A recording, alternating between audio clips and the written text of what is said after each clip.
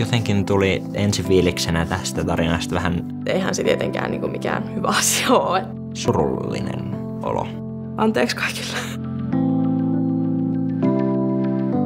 Seurustelin vuoden ailahtelevaisen ja mustasukkaisen henkilön kanssa.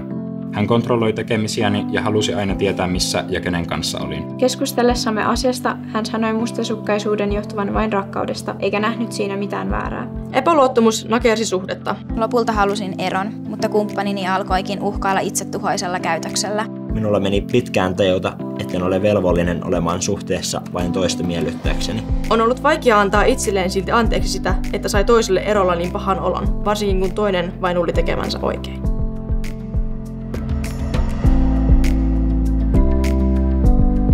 Mustasukkaisuus voi alkaa nakertaa suhdetta, kun Jatkuvasti sun pitää olla huolissaan. Tai jos molemmin puolin on tämmöinen, että ei luota tai ei ole luottamuksen arvoinen, Siinä tulee paha mieli sille toiselle, jota syytetään siitä ja saattaa ehkä luulla, että se tekee jotain väärin. sä et pysty enää ollenkaan luottaa toiseen ihmiseen.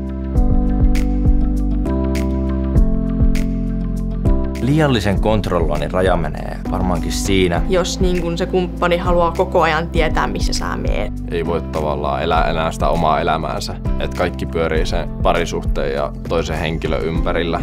Jos susta tuntuu siltä, että joku viettää liikaa aikaa jonkun kanssa, niin siitäkin pitäisi keskustella. Ei anneta toiselle tilaa hengittää.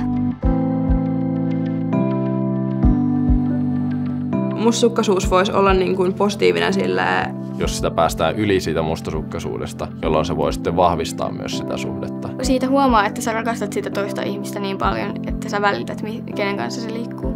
kaikki on niin kuin pienissä määrin ihan terveellistä.